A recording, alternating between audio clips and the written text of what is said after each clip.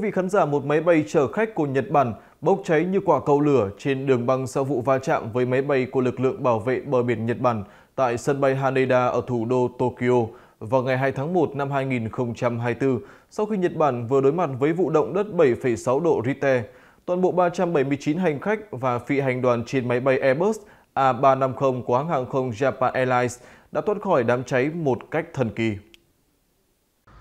Một hành khách có mặt trên chiếc máy bay chở khách bốc cháy ở sân bay Nhật Bản chia sẻ, tôi chỉ có thể nói đó là phép màu. Chúng tôi có thể đã chết nếu chậm chân.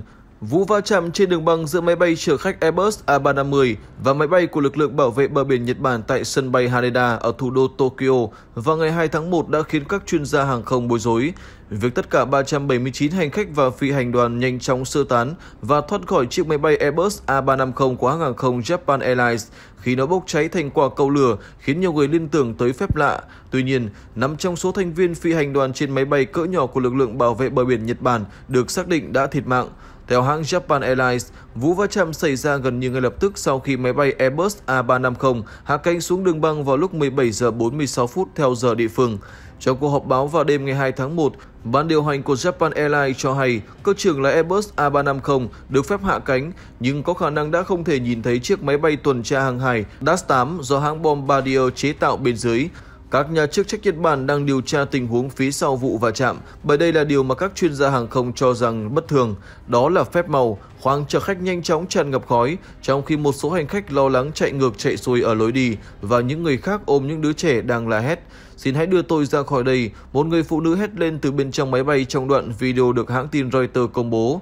Tại sao không mở cửa? Một đứa trẻ la lên. Anh Tsubasa Sawada, 28 tuổi, sinh sống ở thủ đô Tokyo, đang trở về nhà sau kỳ nghỉ ở Sapporo cùng bạn gái cho biết tôi thực sự nghĩ mình sắp chết. Sau khi tai nạn xảy ra, lúc đầu tôi còn cười khi nhìn thấy một số tia lửa phát ra từ động cơ máy bay, nhưng khi ngọn lửa bùng lên, tôi nhận ra điều nghiêm trọng. Anh Sawada nhớ lại, theo video của Reuters, trong khoang máy bay, các tiếp viên đã kêu gọi hành khách giữ bình tĩnh và nói xin hãy hợp tác, còn ở bên ngoài, 115 đơn vị cứu hỏa đã được triển khai tới hiện trường để khống chế ngọn lửa ở phía sau máy bay, nhưng cuối cùng nó bùng lên thành một quả cầu lửa bao trùm cả máy bay.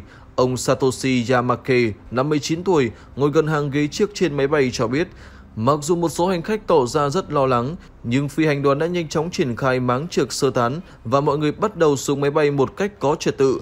Hãng hàng không Japan Airlines cho biết việc sơ tán bắt đầu gần đây, ngay lập tức như sau khi máy bay dừng lại trên đường băng và tất cả hành khách đã được đưa đến nơi an toàn trong vòng chưa đầy 20 phút. Một đoạn video cho thấy hành khách được sơ tán một cách bình tĩnh, Dường như không cầm theo hành lý sách tay, các cơ quan an toàn hàng không đã cảnh báo trong nhiều năm về việc hành khách không cố ý mang theo hành lý sách tay bởi nó có nguy cơ gây tử vong trong quá trình sơ tán. Ông Paul Hayes tại công ty tư vấn hàng không Essen by Crisium tại Anh nhận định vì hành đoàn chắc chắn đã thành công một cách xuất sắc, dường như không có ai cầm theo bất kỳ hành lý sách tay nào. Thật là kỳ diệu khi tất cả hành khách đều thoát ra ngoài. Một quan chức Bộ Giao thông Nhật Bản cho biết thủ tục sơ tán của hãng hàng không Japan Airlines đã được tiến hành phù hợp. Anh Sawada chia sẻ chỉ có khoảng 10 phút sau khi mọi người rời khỏi máy bay đã xuất hiện một vụ nổ lớn. Tôi chỉ có thể nói đó là phép màu. Chúng tôi có thể đã chết nếu chậm chân. Tôi muốn biết tại sao tai nạn lại xảy ra và tôi cảm thấy mình không muốn lên máy bay nữa, anh Sawada nói. Theo hãng tin Reuters, Bộ trưởng Giao thông Nhật Bản Sato Tetsuo xác nhận nằm trong số 6 thành viên phi hành đoàn trên máy bay tuần tra hàng hải DAS-8 của lực lượng bảo vệ bờ biển Nhật Bản đã thiệt mạng. Cơ trưởng của chiếc máy bay dù thoát nạn nhưng đã bị thương.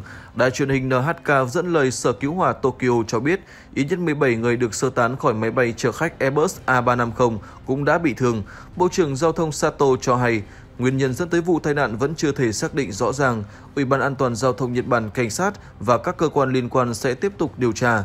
Vụ va chạm xảy ra khi máy bay Airbus A350 đang hạ cánh xuống đường băng của sân bay Haneda, trong khi chiếc Dash 8 chuẩn bị đến sân bay Niigata, nằm ở bờ biển phía tây Nhật Bản. Máy bay của lực lượng bảo vệ bờ biển Nhật Bản làm nhiệm vụ viện trợ cho những người dân bị ảnh hưởng bởi trận động đất mạnh xảy ra vào ngày đầu năm mới 2024. Trận động đất này đã khiến ít nhất 48 người thiệt mạng.